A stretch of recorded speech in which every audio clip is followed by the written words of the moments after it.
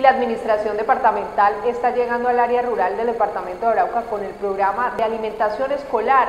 14 mil niños son los beneficiarios de los alimentos. La administración departamental a través de la Secretaría de Educación Departamental viene llevando el programa de alimentación escolar PAE a las zonas rurales de esta región del país. Este programa de alimentación escolar lo viene adelantando la firma contratista Unión Temporal Nutriniños, donde se dio inicio el pasado 16 de marzo del presente año y se benefician aproximadamente unos 14.806 niños. El suministro es un complemento alimenticio tipo almuerzo, donde se benefician todos los estudiantes del área rural y dos instituciones educativas del área urbana del departamento de Arauca. En el municipio de Arauca se benefician 66 escuelas rurales y dos urbanas, entre los que se encuentran 10 escuelas indígenas y un internado. En Arauquita 91 escuelas rurales, a la que también se le entrega a una escuela indígena. Cravo Norte, nueve escuelas rurales, también se benefician una escuela indígena y un internado. En Fortul, 57 escuelas rurales, ocho escuelas indígenas y un internado de indígenas. También en los municipios de Puerto Rondón, con ocho escuelas rurales,